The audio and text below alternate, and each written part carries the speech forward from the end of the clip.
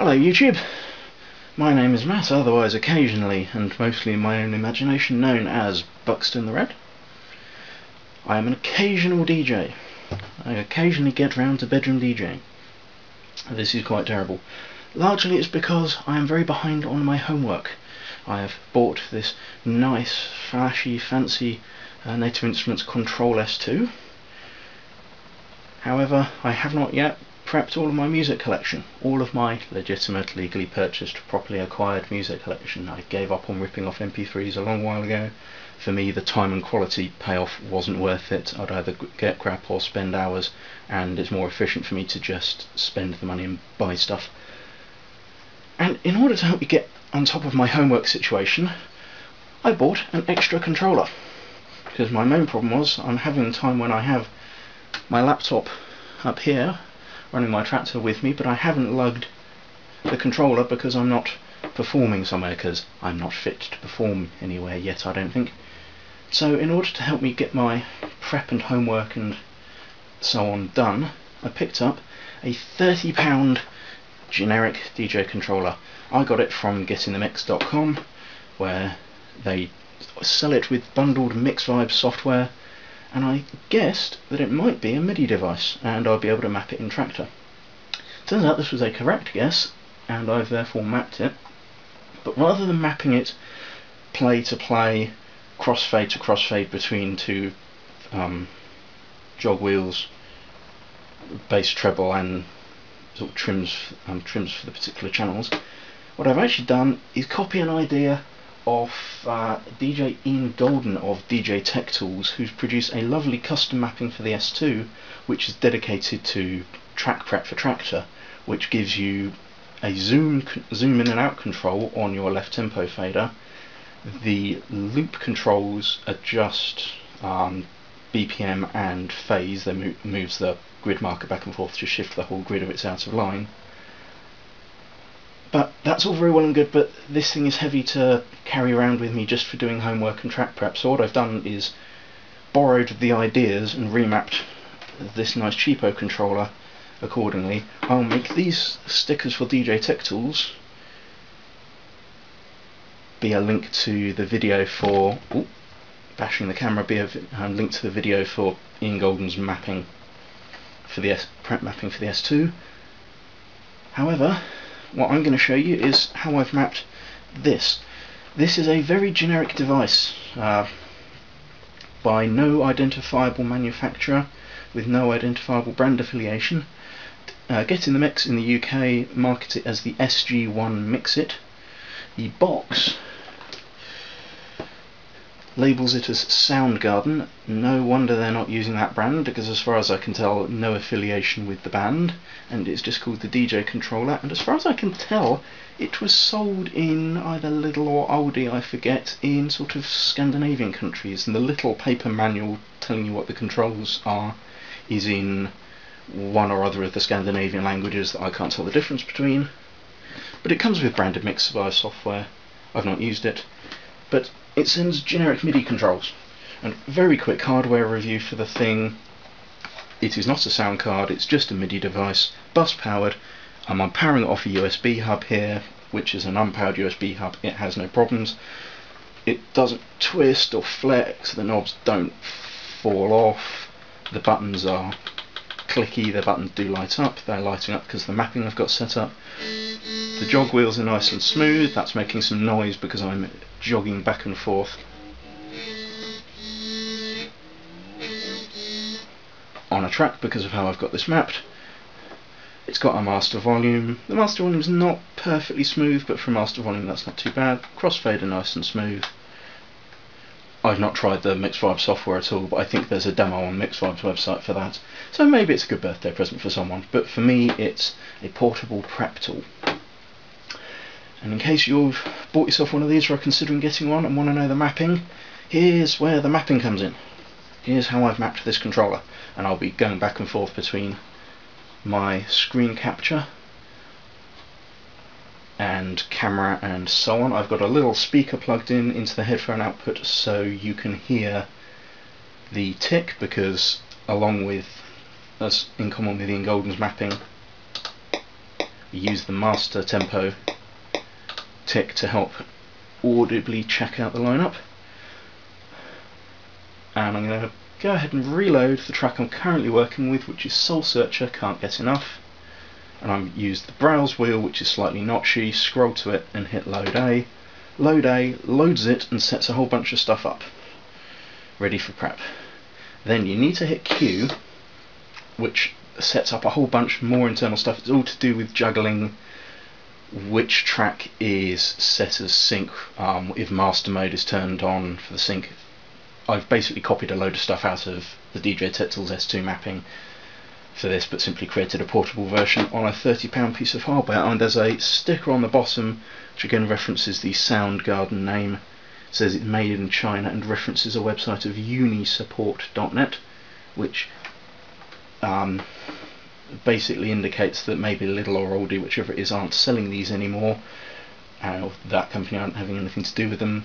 So, don't know how widely available these things are going to be. Maybe it's an indication of why um, getting the mixer got them cheap, but for a cheap thing, it's not bad. If you're aware that you're buying a £30 MIDI controller only thing and have a particular use for it, it might fit what you need. So we've loaded our track, we've hit Q to set stuff up, and then when we hit play, the music plays. Now, however, if I turn the master volume down, that doesn't turn the tick down. And the track plays. And while the track's playing, left jog does quite big moves through the track if we go to the video, like a fairly gentle rotation sweeps you a long way around it doesn't do CDJ style pitch bending. Now let's turn the ticker off. While the track is stopped, this does slow style sort of vinyl control vinyl style movements as if you're manually moving stuff around. This is for targeting a particular spot. I've got the crossfader mapped to zoom, so you can go all the way out, so all the way in on, on the crossfader. Uh, because again, this mapping is for prep. This isn't a playback mapping because I wouldn't want to rely on this for performance. And I've got the S2 for performing. This is just for I'm prepping, making sure the grid's in place, making sure the tempo's right, making sure it's found the one correctly.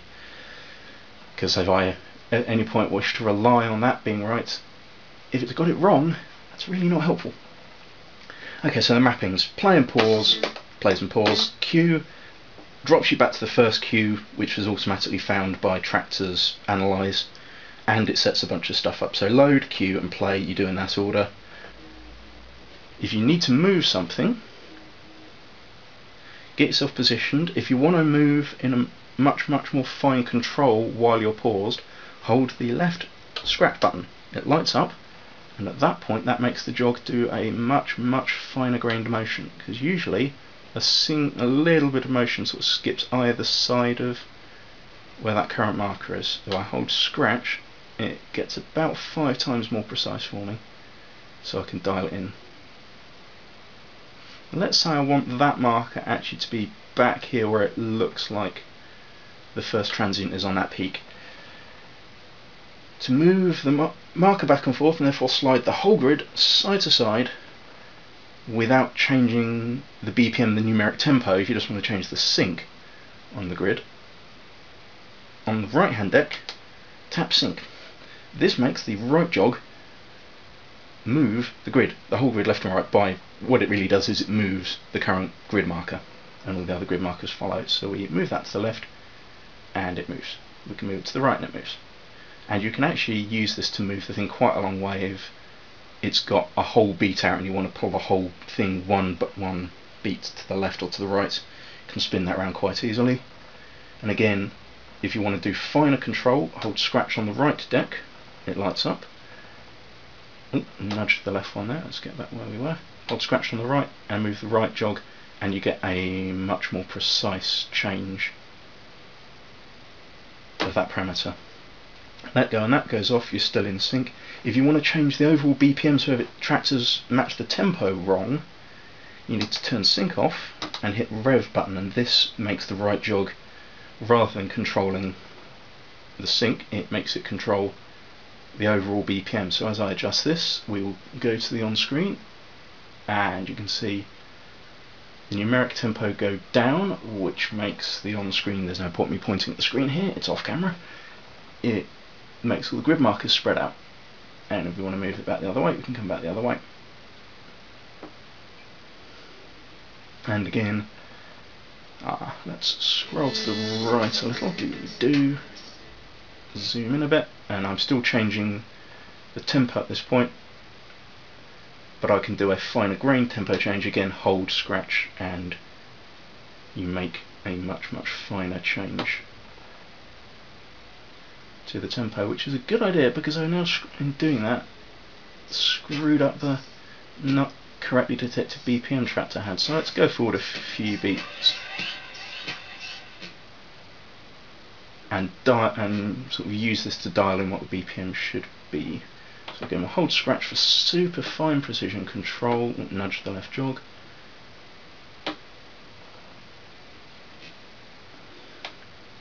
And I think that's where the tempo should lie. Turn rev off so that if neither rev nor sync are lit, the right jog doesn't do anything. It's a safety protection and every time you load a track or hit play it turns off these switches so you have to activate the mode in order to make a change on purpose because otherwise you've seen how clumsy I am with the left jog I'm going to be screwing up right jog all over the place let's let's just press Q and jump back to the beginning and one other thing you can do while you have sync switched on which is for changing the uh, grid phase moving the left beat marker is I've mapped pitch minus and pitch plus buttons to delete and add of grid marker. This is the same as using uh, shift reset and reset if you're using um, Ean Golden's S2 prep app.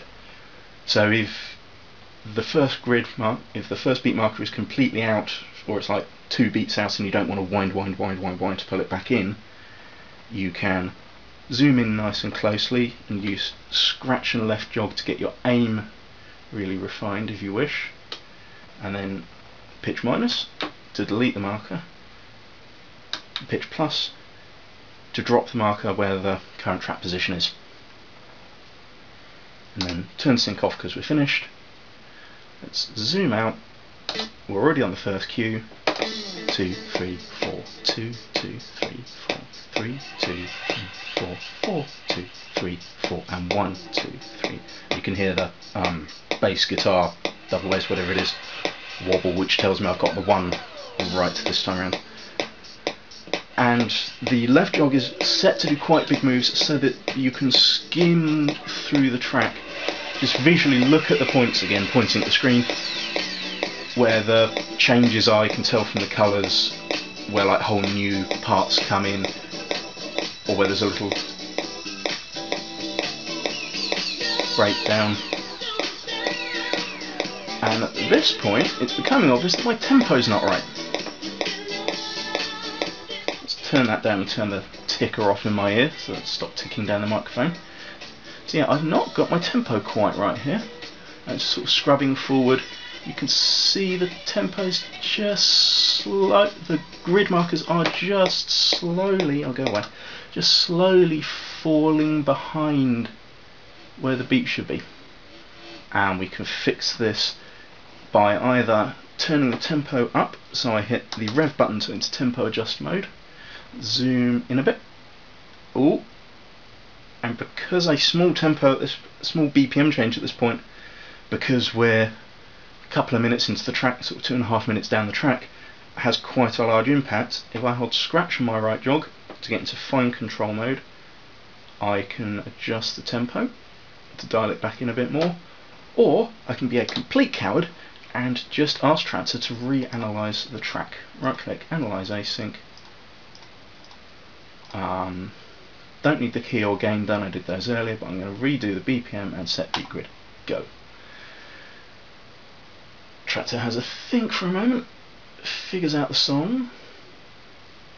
There we go, that's reloaded, and we'll load the track onto the whole deck again.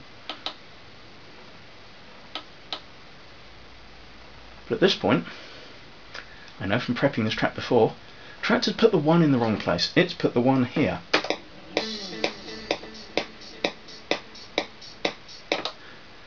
So it thinks that before that bass guitar note is the 1 and this is the 2 here. But that's rubbish because if we fly forward down the track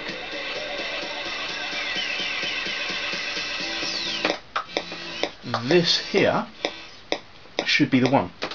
This note here it should be 1 here so two, two, three, four, three, two, three, four, four, two, three, four, one. But it's not. It thinks that's the 2, which means the whole grid is in the wrong place. But that's right, we've got a custom prep mapping here. And so, we're going to do one of those um, marker moves. And it's found the beat right, but what it hasn't found is the right beat in the bar for which one is the 1. So I'm going to zoom in on what I should say is the one. Again, scratch plus left deck to do a really fine move. Hit sync for the right deck to enter grid change, and then I'm going to delete with pitch minus, and then add with pitch plus, and that basically removes where I've said the grid marker is, so that Traktor now has the one here.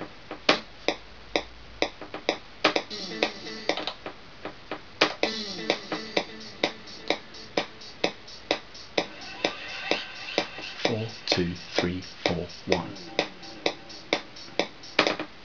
Perfect. And that is a prepped track. Using very similar concepts to this, but I've actually grown quite fond of having a big jog wheel control to make especially cha um, sync changes, so moving the grid marker back and forth. And as we've only got one fader control and we're not crossfading because we're not performing, we're not mixing deck to deck. Set that to the zoom so I can go from all the way out to all the way in. And this mapping will be available to download at buxtonthered.com slash map, M-A-P, because it's a mapping. So I would say practice and enjoy, but um, I'm kind of the blind leading the blind here, so uh, I don't think I've earned the right to have a catchphrase yet, but um, I shall stick my ugly mug very vaguely into frame, say thank you very much for watching, and if anyone else is learning as much as I am from all the good people's videos out there, thank you very much all the good people who put awesome videos up, Jonathan Skins, um, Brian S. Red, all those marvellous, marvellous people, and plus um, Ean Golden and the DJ Tech Tools guys. Yeah, um, this will be my first thing on video in which I'll teach anyone anything because I built this mapping and I'm kind of the only one who knows how it works. And it's a lot easier to learn this by watching someone press the buttons than it is to read a document. I will also put a readme in with the file just so that you can have something to print out and refer to. But it's basically move the music, move the grid, move the tempo. Oh yes, and the other thing is once we've finished prepping a track, hit sync and that saves it. So on Traktor it's the little padlock lock on and off and the LED follows that so if I load a track that's already locked the sync light comes on to tell me that track is already locked down. Load that one, it's not locked at the moment. Lock it. Locking it prevents any changes from happening even if I turn the mode on here nothing moves on screen and I like using the lock as an indication that I have prepped this track, I have signed off on its uh, beat grid, it's all good. So sync to save, and then load down, move down, load A, cue, play, lather, rinse, repeat, prep your music. Thanks very much for watching.